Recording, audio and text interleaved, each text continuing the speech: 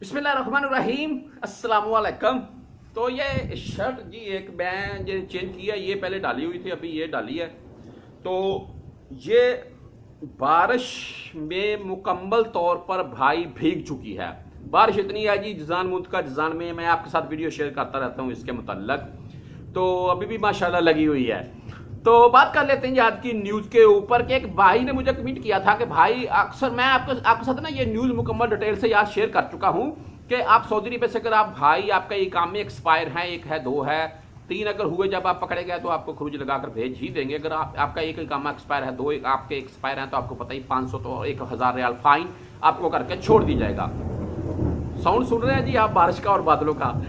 अच्छा अभी बात कर लेते हैं। एक भाई ने मुझे कमेंट किया, यानी कि मैं एक मुकम्मल डिटेल से आपके साथ वीडियो यानी कि शेयर कर चुका हूँ भाई कि आप सऊदी अरेबिया से कैसे जा सकते हैं। अगर आपका इकाम एक्सपायर है, आप जाना चाहते हैं और खरूज नहाई। माशाल्लाह माशाल्लाह। खरूज नहाई यानी कि भाई आपको है, आप न्यू वीज़ा के ऊपर यानी कि सऊदी अरेबिया में वापस भी आ सके जिसके ऊपर।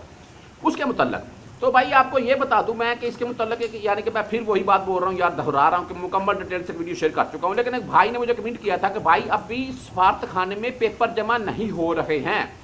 तो मैंने जब अपने दोस्तों से रबता किया, जद्दा में बैठे हुए हैं तो मैंने उनसे पूछा कि यार ऐसा है?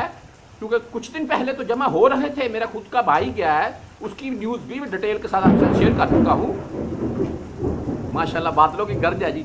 तो मेरे दोस्तों ने बोला है कि अभी तीन चार दिन पहले हमारे साथ ही बंदा रहता है, वो जमा करवा के आया, ऐसा कोई मसला नहीं है। कुछ दिन के लिए दरखास्तें रोकी गई थी, क्योंकि दरखास्तें बहुत ज़्यादा जमा हो गई थी, अभी फिर से हो रही हैं।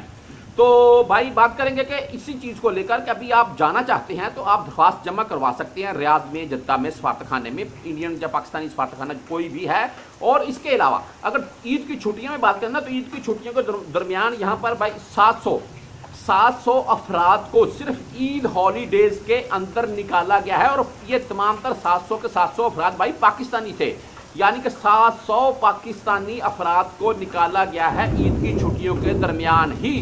तो पेपर जमा हो रहे हैं। अगर आप क्रूज के क्रूज नहाई के ऊपर जाना चाहते हैं अगर आपके इकाम एक्सपायर है नहीं कफील लगा रहा है तो ये एक हल है जी। इसका सिंपल मैं मुकम्मल डिटेल के साथ इसके साथ वीडियो यानी कि शेयर कर चुका हूँ। मेरे चैनल के ऊपर जाकर जा, जाकर देख भी सकते हैं।